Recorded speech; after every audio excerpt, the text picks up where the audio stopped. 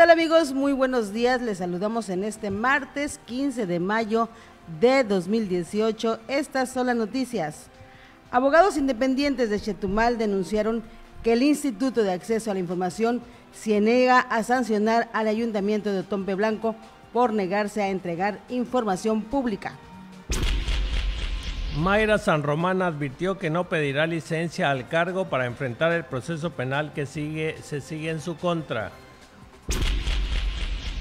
Buscan preservar el medio ambiente a través del arte en Cancún. Vecinos del Parque Ecológico Ombligo Verde pidieron al presidente municipal de Cancún retirar infraestructura que entorpece la circulación.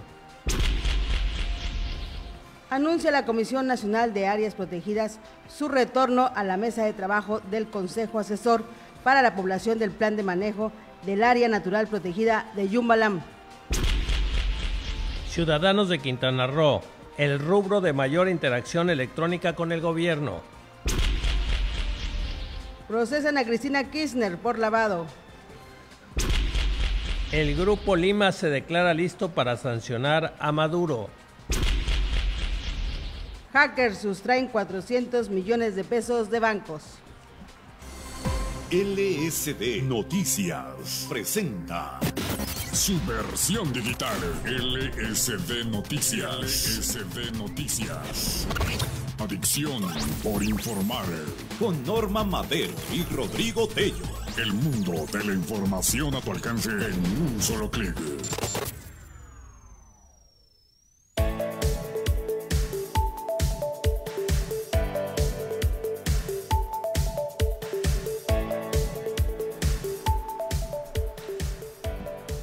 Buenos días a toda la gente que nos escucha y nos ve en las diferentes plataformas desde Cancún, transmitiendo para todo el mundo, desde Luces del Siglo. Doctor Rodrigo Tello, ¿cómo estás? Buen Muy buenos días, Norma Madero. Buenos días al público que nos escucha. Pues hoy le damos un fuerte felicitación y abrazo a todos los maestros. Hoy es el Día del Maestro. Prácticamente la ciudad, si te diste cuenta, está vacía. Le damos gracias a los maestros. Felicidades a los maestros y les damos las gracias también por tener un, un día sin baja, con baja presión automovilística. Para que vean cómo los maestros pueden mover a una sociedad, ¿eh? De veras que yo salí ya un poco tarde y dije, me confundí, hoy es domingo, ¿qué pasó? Sí, está realmente la ciudad muy tranquila en este momento. Digo, tenemos un sol esplendoroso en, en Cancún, en este gran paraíso, pero bueno, sí se notó que los niños hoy no fueron a la escuela. Se notó incluso, y se notó incluso más que el Día de la Madre el tráfico. ¿eh? Sí, es cierto. Un, cambio radical en la ciudad. Pero, bueno. Iniciamos con el día de hoy y las primeras planas a nivel nacional de los periódicos. Reforma. Reforma, en su primera plana, atacan sistema de transferencia, admite Banchico hackeo. Esta es la nota que, que se mencionaba ayer, en donde, bueno, todavía se sospechaba si habían o no sacado dinero y bueno, ya salió que sí. Asegura gobernador que el problema está bajo control. Calculan daño por 820 millones de pesos. Finalmente, el Banco de México aceptó que la afectación al sistema de pago electrónico interbancario fue producto de un ciberataque que aunque omitió señalar el monto de los daños. Todo parece indicar con la información que tenemos al día de hoy es que sí se trata de un ciberataque y que afectó a este aplicativo, dijo el gobernador Alejandro Díaz de León. También otro golpe en Veracruz. A Culcingo, dos locomotoras y cinco unidades de carga fueron descarriladas por pobladores de esta comunidad. Esto ya se está haciendo frecuente. No hay muchos trenes en este país y que los pocos que hay eh, se empiecen a descarrilar, tipo el viejo oeste en esas películas donde veíamos que el asalto cotidiano era precisamente a los trenes. Esto es sumamente grave y está siendo hecho, de hecho, por, por comunidades completas, ¿no? Aquí hay una foto de, de algunos tramos donde dice detienen ferrocarril niños y abuelas. Defiende Cienfuegos base de Santa Lucía. Arma crimen su red Telecom. El crimen organizado está creando su propia red de telecomunicaciones. Gravísimo. Eso sí, eh, será en todo caso tener un Estado dentro del Estado. Imagínese usted, gente armada, igual que el ejército, porque no es que tienen ya pistolitas, y ahora también con su propia red de telecomunicaciones. En fin, eh, esto es básicamente lo que trae el periódico Reforma en su portada. ah, Palazuelos. Bueno, pues en el tema de moda con, con esta serie de Luis Miguel, Roberto Palazuelos, amigo de Luis Miguel y quien aparece en la serie sobre su vida, advierte imprecisiones en la historia. Va a ver usted que ya va a haber varios que también quieren su, su tajadita de protagonismo con esta serie, ya verá. Es todo un éxito, déjeme decirle, eh, es todo un éxito esta serie de una de las, bueno, biografía de, de Luis Miguel. En fin, lo que hoy, hoy plantea el Universal en su primera plana, lo que destaca el día de hoy, ataque cibernético, golpea a los bancos, dinero de los cuales, de los usuarios seguro, seguro, el daño fue mínimo, dice Bancico, garantizan las transferencias hoy en el pago de las nóminas. Profesor ejemplar, una entrevista al, profesor Francisco Javier Montelongo, director y maestro de una escuela en Ciudad Victoria, Tamaulipas, pasa en su combi a las casas de 25 alumnos para llevarlos a clases. Además, les dota de uniformes y libros. Sin su apoyo del gobierno y muchos niños no estudiarán, terminó cansado.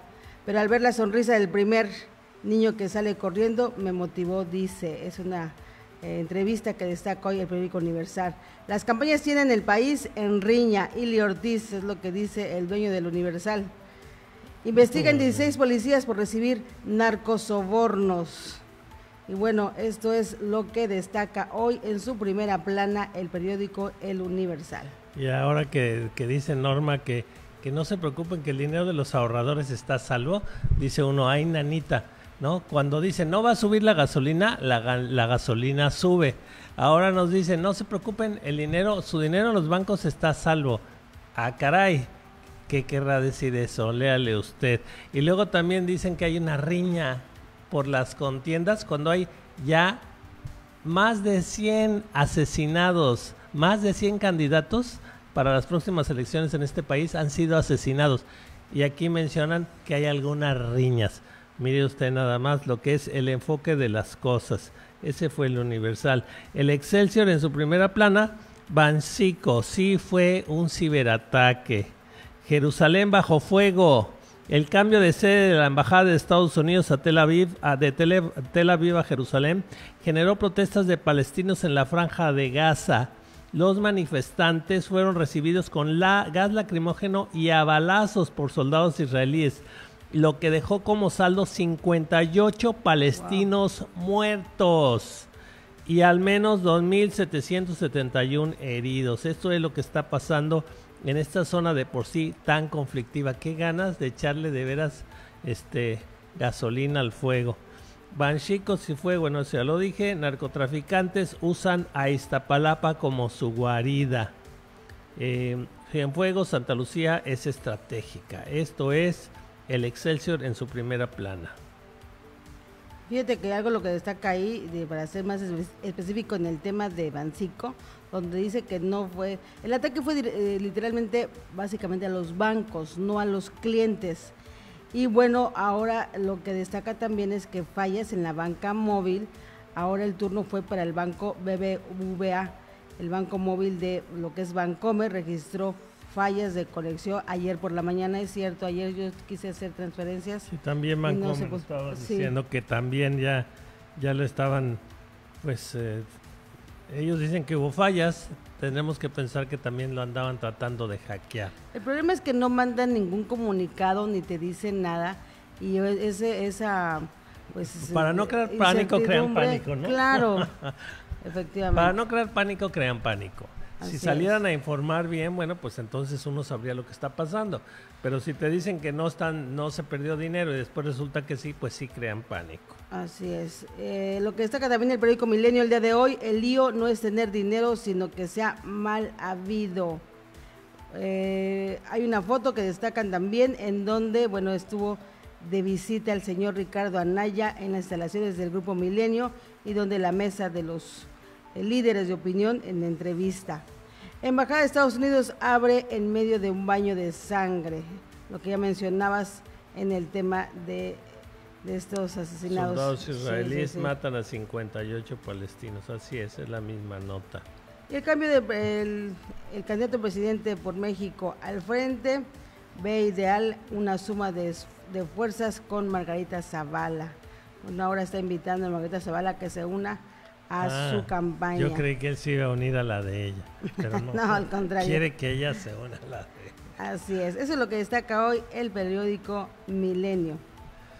Bueno, pues en las eh, portadas locales, Luces del Siglo, Periodismo de Verdad, en pleno día del maestro muere en 2012 Carlos Fuentes, uno de los más destacados escritores mexicanos de la segunda mitad del siglo XX.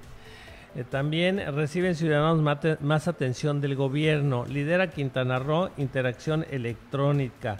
Habitantes del estado consultan y piden más informes oficiales, aunque, y aunque seamos los líderes en esto, también hay muchísimas quejas en el estado porque no en todos lados se quiere dar precisamente esta información que se ofrece. Sale Congreso Estatal de sótano de opacidad. Ah, bueno, esa sí es buena noticia. Objetivo, eliminar la venta de plazas, dice Carlos Joaquín, que se reunió ayer con los maestros. Eso también sería una muy buena noticia. Sanciones, sancionarán a Otompe Blanco Abogados independientes de Chetumal denunciaron públicamente que las autoridades del Instituto de Acceso a la Información y Protección de Datos de Quintana Roo se niegan a sancionar al Ayuntamiento de Otompe Blanco que de enero a abril acumula 131 denuncias por negarse a entregar información pública. Ahí está lo que decíamos. Aquí arriba está la nota de que Quintana Roo eh, tiene eh, un liderazgo en la interacción electrónica, es decir, que los ciudadanos ya accedemos más a buscar información electrónica, que es lo de hoy, y sin embargo, bueno, hay, quejas precisamente contra el Ayuntamiento de Otompe Blanco por negarse a entregar información pública. Candidata transparente. En su primer acto de campaña por la reelección, Laura Fernández presentó su declaración 3 de 3 como compromiso con los habitantes de Puerto Morelos. Bueno, pues ahí tiene usted. Esto es el periódico Luces del Siglo en su primera plana. Así es, y lo que mencionabas y lo que veíamos en este gráfico, si nos lo pueden poner el gráfico de primera plana, eh, las aulas sardina, y hay que decirlo eh, aquí a los, a los maestros que, que trabajan incluso, inclusive en contra de la adversidad, bueno, pues Quintana Roo es un estado en donde de verdad que hay maestros héroes, héroes que aún sin tener sus aulas en, condiciones para poder darle enseñanza, bueno, pues siguen, siguen trabajando y tenemos muchos, ¿eh? sobre todo en la zona maya. Hablando del buen aprendizaje de niños y adolescentes, depende de gran medida la atención personalizada que reciben ah, de sus maestros. Y bueno, eh, tenemos una gráfica ahí que, que destacamos el día de hoy alumnos por maestro en promedio en todos los grados. Esto eh, lo quisimos destacar porque finalmente eh, son números en los que eh, pues tenemos que reconocer y la labor de los maestros que se da aquí en Quintana Roo. Por decirle algo, tenemos alrededor de las, en la parte de preescolar 56.657 alumnos y donde hablan de una una plantilla de docentes de 2.323.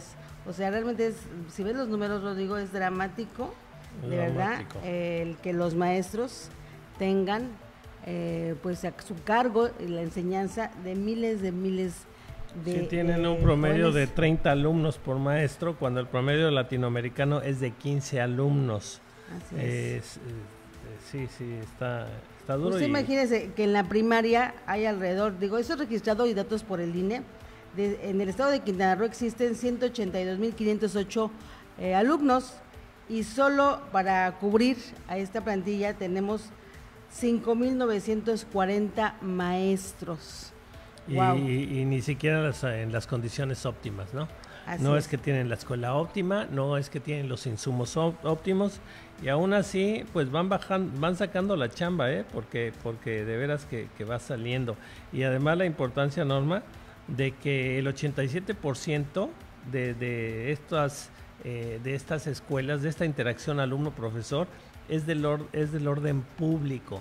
¿No? Así es. Eh, Hablamos de que, bueno, hay, hay grandes escuelas privadas, eso nos dicen, y solo son el 13%, o sea que nuestro enfoque para el futuro de Quintana Roo tiene que ser completamente el sector público. Además, ¿sabe usted? Cuando hay las Olimpiadas de, de- de- de cuestiones culturales de las escuelas, los alumnos que más se destacan son los de las escuelas públicas, Así no es. los de las privadas. ¿Cómo ve usted? eh? A Así pesar de todas las carencias. Así es, y para decirle algo, aquí en el estado de Quintana Roo tenemos 2.478 escuelas en todo el estado, hablando del sector público y privado. 478 2.467 escuelas. 78 escuelas. Bueno, pues una gráfica, la verdad es que muy ilustrativa. Se me fue, mira, no, no, no la leí ahorita que leí la primera plana, pero a- a la- al modo luces del siglo y reforma, de veras que una gráfica que sin meterse a estar leyendo una nota grande, nos dice, nos da todo el panorama de la educación eh, tan rezagada.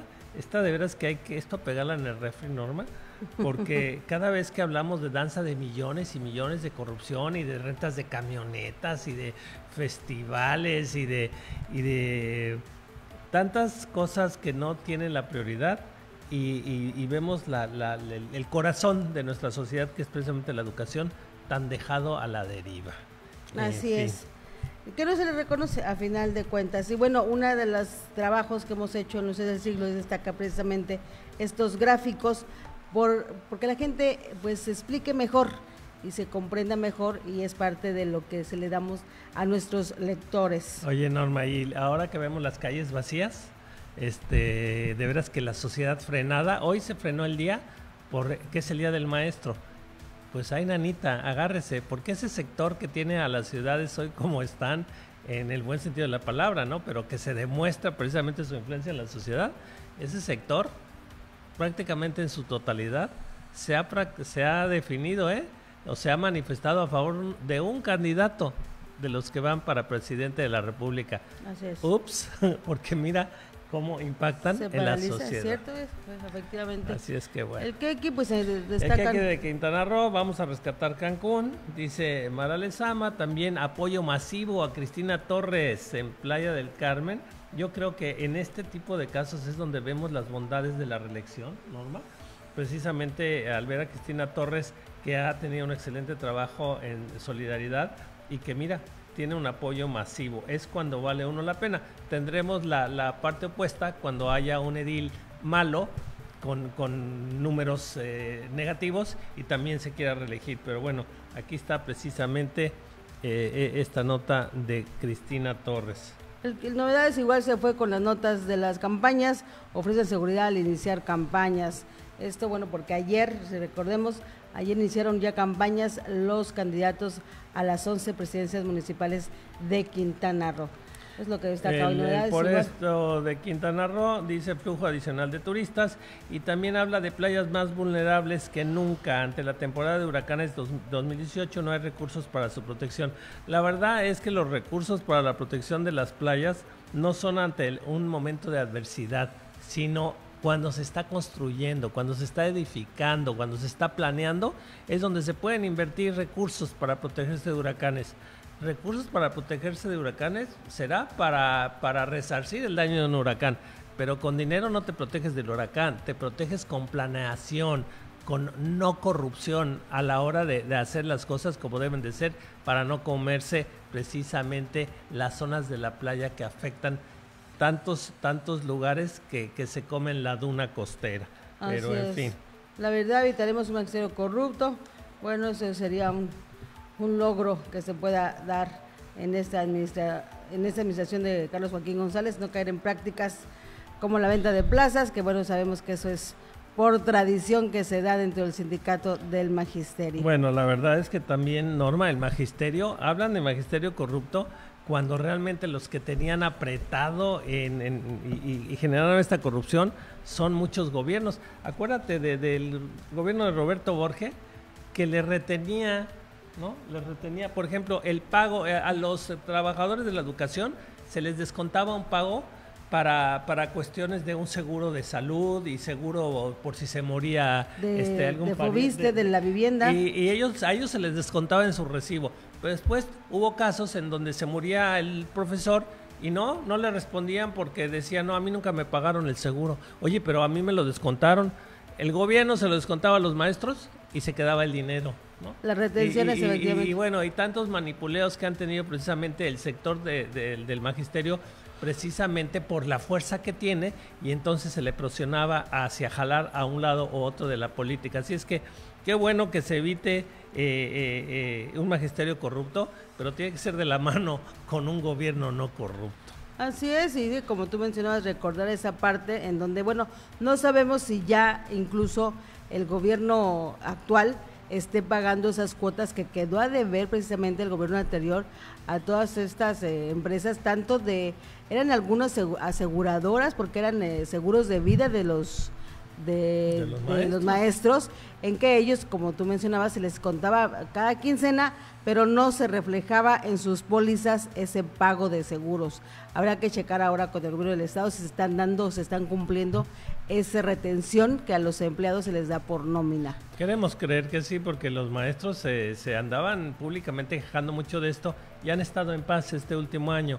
Entonces yo creo que, que esto se debe estar poniendo en orden. Hay que recordar Y- también y que, que- el gobierno federal en algunos estados de la República, incluyendo Quintana Roo, también centralizó precisamente los pagos de nómina de los maestros. Hay que recordar que después de todo este... Para evitar este tipo de, de- de cuestiones. Sí, digo, iba en, eh, en cosa contraria porque finalmente lo que se, se, se tiene que hacer o lo que se pretendía hacer en este gobierno era descentralizar algunas cosas y no, al contrario, en el caso del magisterio se centralizó precisamente Sí, los pagos uno, de para que go- los gobernadores no puedan manipular al magisterio.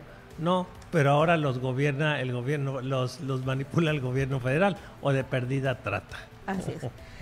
Vamos a ir a corte, regresamos, seguimos aquí en ese Noticias, Adicción por Informar.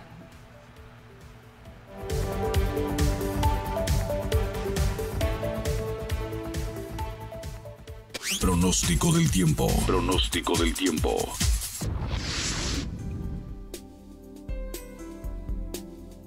Fenómenos meteorológicos generarán tormentas muy fuertes en zonas de Chiapas, tormentas fuertes en sitios de Coahuila, Nuevo León, Tamaulipas, Jalisco, Michoacán, Oaxaca, Campeche, Yucatán y Quintana Roo, lluvias con intervalos de chubascos en regiones de Durango, Zacatecas, San Luis Potosí, Guanajuato, Aguascalientes, Querétaro, Hidalgo, Estado de México, Morelos, Tlaxcala, Puebla, Veracruz, Guerrero y Tabasco, y lluvias aisladas en la Ciudad de México. Se estiman temperaturas matutinas de 0 a 5 grados Celsius en zonas montañosas de Baja California, Sonora, Chihuahua, Durango, Tlaxcala, Estado de México, Puebla y Veracruz.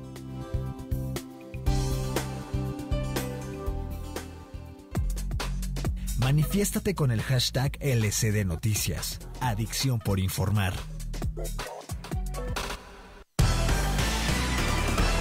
Estás escuchando Radio Luces, transmitiendo desde Cancún, Quintana Roo, México, para todo el mundo.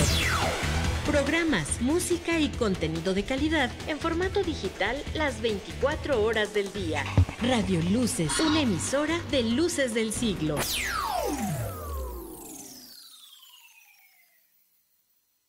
Este inicio de año, regala o regálate algo útil y para todo el año. Suscríbete a Luces del Siglo por 12 meses y llévate además de la mejor información un Day Pass en Sky Zone Trampoline Park. Disfruta de todo el día con el pase más divertido. O si lo prefieres, un set de 24 cubiertos de acero inoxidable marca Zanetti. Este inicio de año, el mejor regalo es una suscripción al periódico Luces del Siglo. Comunícate 9982 077 105 o escríbenos contacto arroba. Buenísimo los taquitos, te los recomiendo. Mm, están súper deliciosos.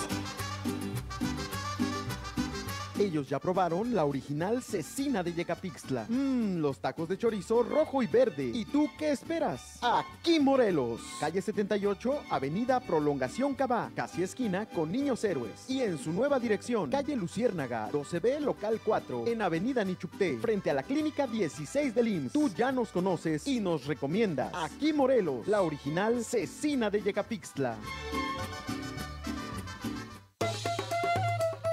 Teatro Exbalanque, un espacio abierto a la expresión artística y cultural. Teatro independiente de pequeño formato, puestas en escena de todos los géneros y dirigido a todas las edades. Avenida Yaxilán, número 31, Supermanzana 22, primer piso del Hotel Exbalanque. ¿Quieres conocer la cartelera? Síguenos en Facebook, Twitter y YouTube. Teatro Exbalanque.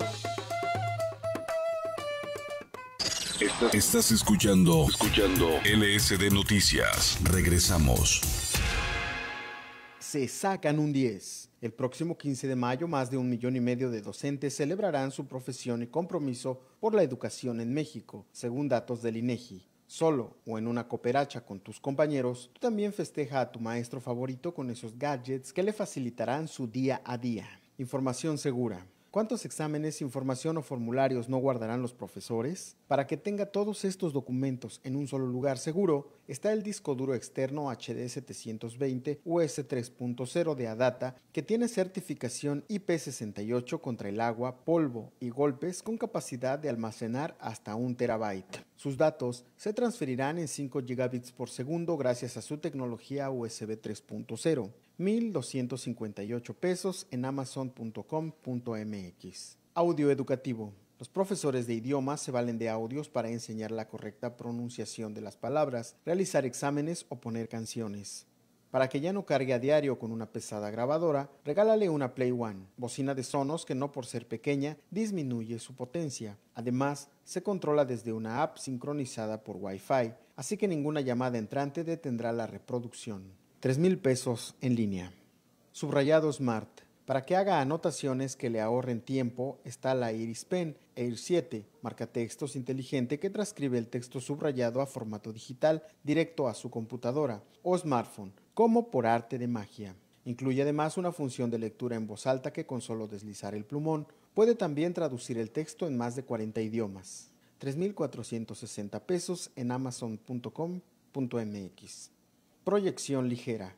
Con un peso de solo 285 gramos y medidas de 12 por 8 por 4 centímetros, el proyector portátil LED Mini de Red Lemon será el favorito del profesor cuando ponga películas en clase o de presentaciones multimedia que podrá manipular a distancia gracias a su control remoto. Incorpora entradas para USB, micro SD y HDMI. 1.480 pesos en amazon.com.mx. Exposición a distancia.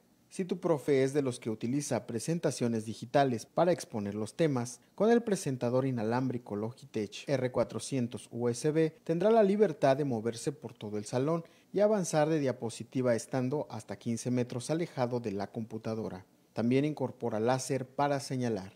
670 pesos en amazon.com.mx.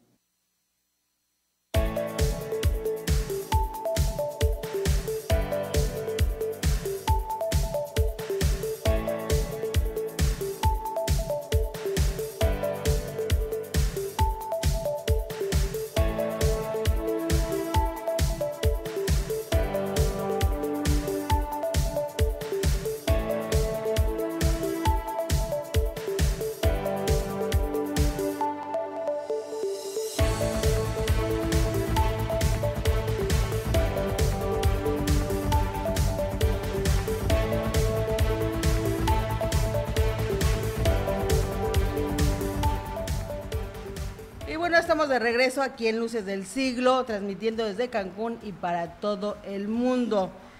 Y bueno, eh, hablando de todo lo que la, noticia principal que mencionaron los diarios nacionales es el por qué los bancos no informaron sobre el hackeo a sus sistemas. Y es que las reglas del sistema de pagos electrónicos interbancarios SPACE, que obligan a que las instituciones financieras notifiquen a los clientes en caso de una falla, en su infraestructura o tecnología no entraban en vigor hasta finales del, del mes próximo. Por ello, las fallas que ha sufrido el SPEI en las últimas tres semanas han estado rodeadas de opacidad. En este periodo, presuntos delincuentes sustrajeron cientos de millones de pesos de cinco instituciones financieras a través de transferencias no autorizadas vía SPEI. En aquellos casos en que la, la, infraestructura tecnológica de un participante presente un evento que afecte los servicios relacionados con el SPEI, que preste a sus clientes, los participantes deberán notificar a sus respectivos clientes afectados, señala el reglamento del SPEI publicado en la última circular de julio de 2017. Sin embargo, el artículo transitorio vigésimo octavo indica que esta obligación no entrará en vigor hasta el 29 de junio de 2018. Mientras tanto, y casualmente un mes antes de que entre en vigor esta regla, la banca mexicana ha estado bajo ataque del que todavía no se sabe, de que todavía se sabe muy poco y bueno, pues en, e, en, ese sentido, las instituciones y autoridades financieras en México calculan que durante abril pasado hackers sustrajeron unos 400 millones del sistema bancario nacional. De acuerdo con fuentes consultadas por el financiero hasta ahora, se estima que la afectación que tuvo Banorte es de alrededor de 150 millones de pesos. Aún no se ha identificado el origen de dónde provino el ciberataque, así como todas las cuentas destino a donde se canalizaron los recursos, pero las cifras que se manejan dentro del sector financiero sobre la sustracción de recursos son millonarios. El ataque masivo se empezó a detectar desde la segunda semana de abril y salió a la luz pública el viernes 27 y por haber afectado a Banorte. Así es, las autoridades aseguran que en este ciberataque el SPEI no fue vulnerado, sino que el hackeo fue a través del sistema que los bancos tienen con proveedores para conectarse con el SPEI. Algunos investigadores consideran que las cuentas en donde se dispersó el dinero se encuentran dentro del país, ya que en las transferencias internacionales hay más alertas dentro de las mismas instituciones. Y como le platicábamos ayer, eh, lo que mencionan aquí en que efectivamente esto se da a través, es como si fueran carreteras. O sea, la carretera entre una sucursal y otra, ese, ese tramo carretero, fue lo que hackearon para desviarlo a otras cuentas. Eso fue lo que pasó. En, este caso, por ejemplo, los, los bancos tienen acuerdos para conectarse con SPAY.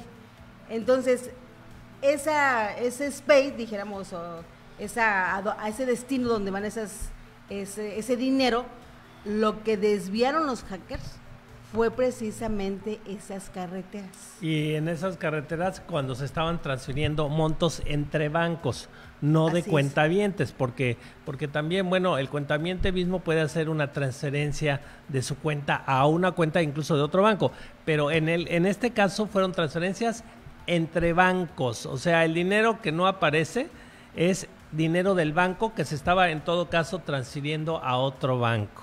Así es, como se tienen diferentes proveedores en el caso de esas carreteras, ahí fue donde ocurrió esos ciberataques, vamos a decirlo. No fueron ciberataques, más bien fueron jaque para desviar. Ciberrobos. Ciberrobos. Sí, porque no vinieron. El ciberataque implica que se meten a tu sistema y le hacen algún daño, lo atacan. Pero no, como dice Norma, esto no fue un ataque, fue un ciberrobo en todo caso, porque se metieron, robaron, desviaron, pero no es que vinieron a atacar, vinieron a robar. Así es, habrá que hacer una buena investigación aquí por parte de las autoridades, ¿verdad? Y en este caso los propios bancos, para saber en dónde fueron a, dónde se llevaron ese dinero. ¿no? Porque además es gravísimo. Imagínese usted que ponen jaque a todo el sistema bancario. Imagínese usted que esto siguiera pasando y además empezara a pasar también con las cuentas privadas de los que tienen ahí, de los ahorradores.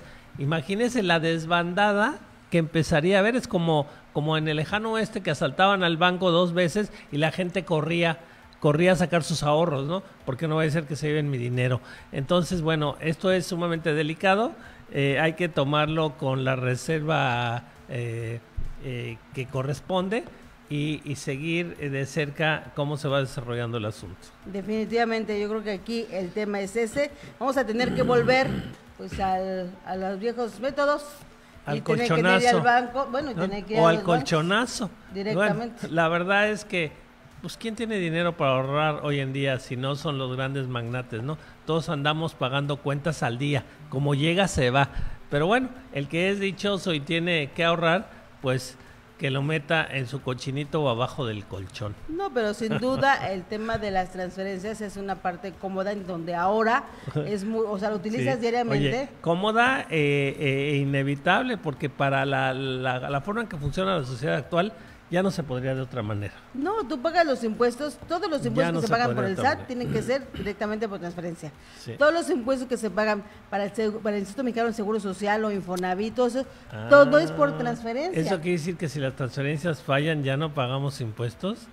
Ah, no, no, muy interesante. No, pero creo que tienes que utilizar al final del día, son, tienes que utilizar los SPY, ese, ese es el tema. Fíjese, imagínese si SPY, qué mala suerte, ya no funciona. No vamos a poder pagar nuestros impuestos. bueno, ojalá, ojalá y sí funcione, no va a ser que no nos quedemos sin pagar nuestros impuestos, sería malo. Así es que bueno.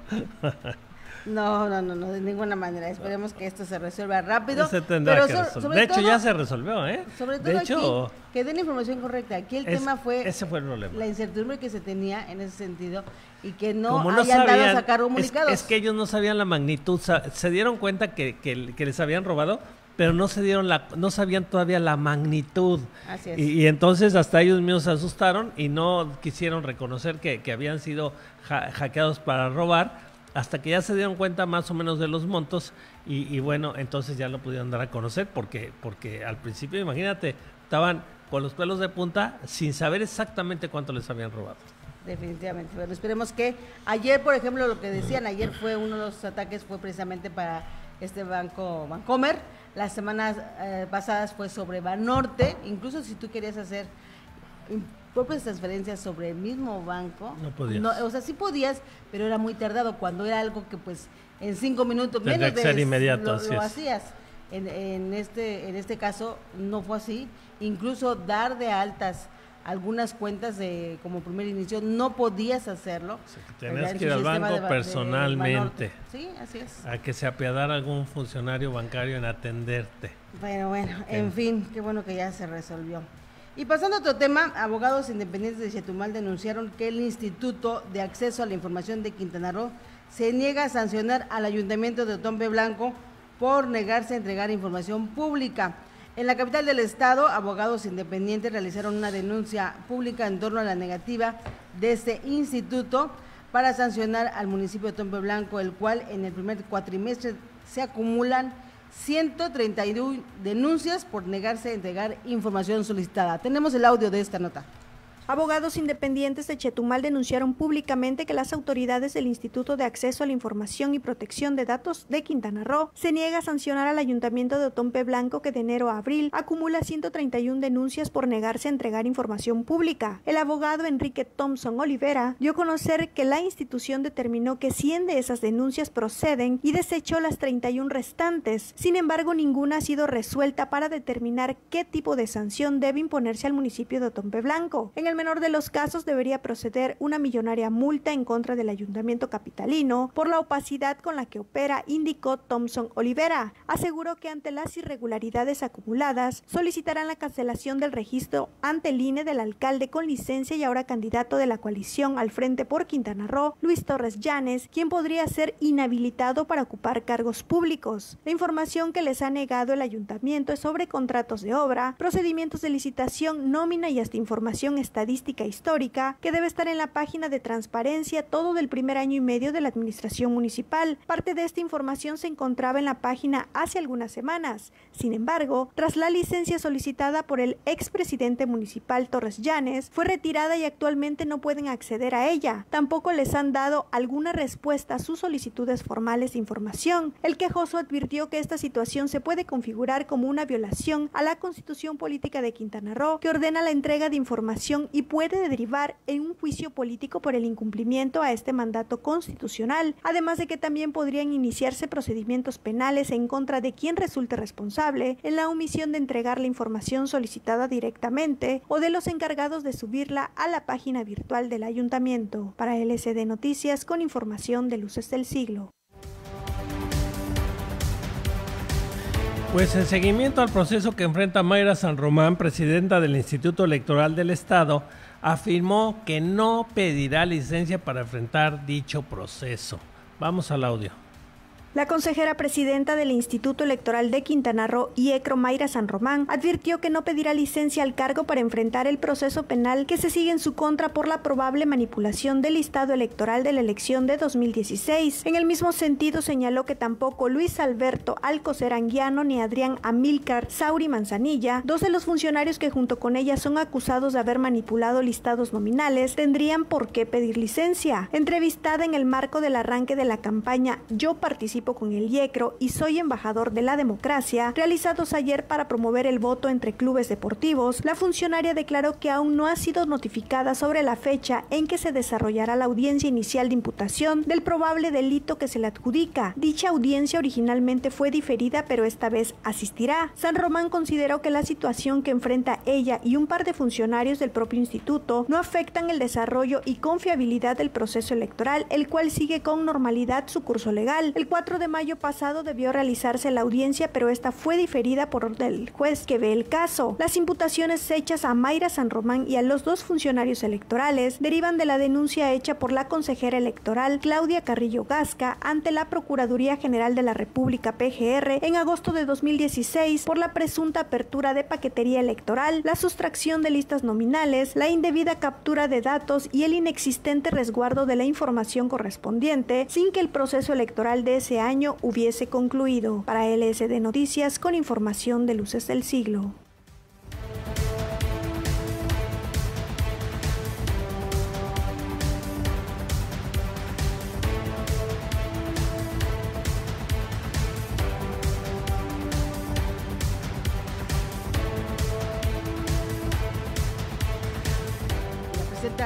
Del Consejo Electoral de Quintana Roo, bueno, pues sí, dice que va a seguir su proceso, aún vaya, no, no tiene por qué renunciar, ¿eh? la verdad es que no, tendría por qué renunciar. No es, eh, eh, no es ilegal lo que se está haciendo, pero pues yo diría que sí pierde un poco de moral en ese sentido, puesto que una persona que esté cuestionada, pues tendría que, que pues no tendría la calidad moral como para presidir en este momento un instituto donde es el árbitro en las elecciones eh, que están a- pues, que están en- que van a Están a iniciando. ¿no? Bueno, en fin. En la calle de Francisco Vi- No, tenemos, ¿Tenemos una llamada? no, tenemos una llamada rápidamente, ya tenemos la llamada. Fíjate que este después de muchos años y que la legislatura mantuvo, la legislatura del Congreso del Estado aquí en Quintana Roo, esta, este instituto, bueno, este, este congreso se mantuvo en los últimos lugares en, pues, en años anteriores o de administraciones pasadas. Ahora, el- pues se ha dado un, pues, un gran salto en ese sentido, porque bueno, se dieron a conocer una, una evaluación que da el Instituto Mexicano para la Competitividad y en donde, bueno, ahora el Congreso del Estado, pues se ha abierto como todo lo que se tiene que hacer en apertura para el tema de transparencia.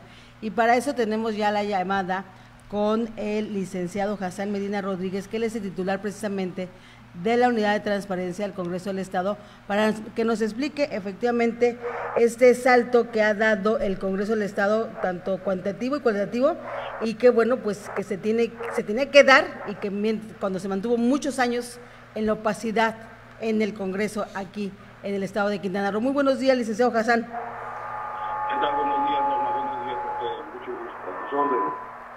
Gracias, licenciado Hassan. Nos acompaña en el estudio el, el doctor Rodrigo Tello. Buenos días. Hola, mucho gusto. Buen día. Disculpen, pero ando un poco malo de la garganta. Mucho gusto. Gracias. Bueno, pues platícanos un poco sobre este salto que da precisamente el Congreso del Estado y lo que finalmente eh, se mantuvo en últimos lugares en años anteriores y que ahora, ahora ha- pues ya podemos decir que en este tema de transparencia, que además es una obligación, bueno, pues se ha avanzado gradualmente.